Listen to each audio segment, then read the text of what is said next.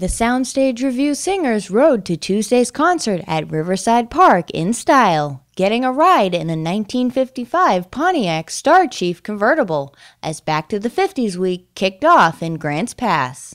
The concert at Riverside Park was cut short by rain, but plenty more festivities are planned this week, including Saturday night's big classic car cruise and concert. Check out this week's editions of the Daily Courier and thedailycourier.com for more details on all of the Back to the 50s events.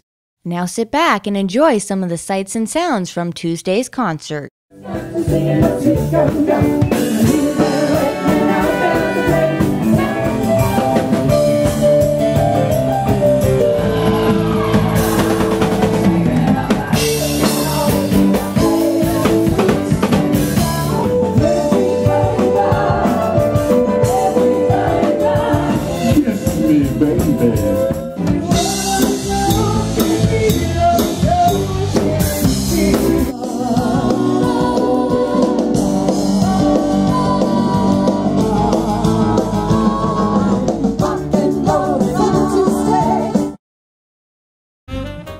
With local movie schedules, theater reviews, and more, the Daily Courier's Fun Finder is where to go to find out what to do in the Rogue Valley. Log on today.